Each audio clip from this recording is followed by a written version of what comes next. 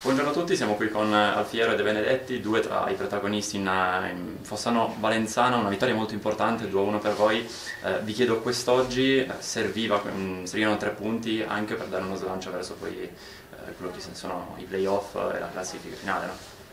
Sì, appunto, sapevamo che affrontavamo una squadra forte con delle grandi individualità,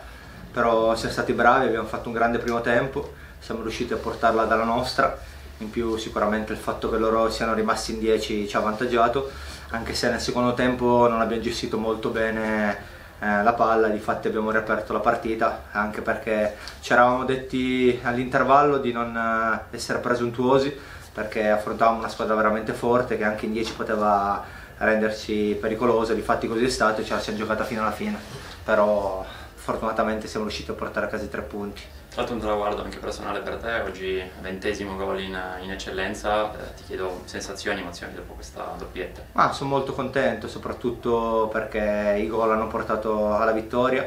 che era la cosa più fondamentale. Eh, e niente, per il resto passo la parola al nostro amico qua che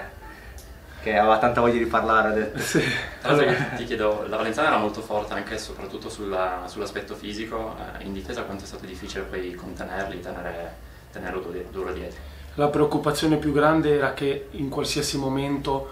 potessero tirare fuori qualche giocata e col fatto che nel secondo tempo hanno accorciato 2-1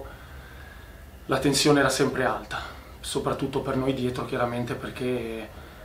ci rendavamo conto del potenziale offensivo loro. Quindi nonostante un inizio di secondo tempo su cui eh, in settimana dovremo lavorare assolutamente, perché fare un grande primo tempo come abbiamo fatto e poi rientrare così rischi che poi certe partite eh, si incanalino un po' su strade pericolose e oggi per fortuna nonostante aver abbassato un po' la guardia a inizio secondo tempo, poi la reazione della squadra c'è stata e chiaramente l'aiuto degli attaccanti, Bon, Giovanni quando è entrato è, è stato fondamentale. E Alfio, tutti i palloni recuperati, il centrocampo, se continuiamo con questa mentalità qua dal primo all'ultimo eh, il cammino diciamo che eh, è questo che dobbiamo perseguire e soprattutto con queste ultime due partite dobbiamo cercare veramente di andare sempre più oltre i nostri limiti.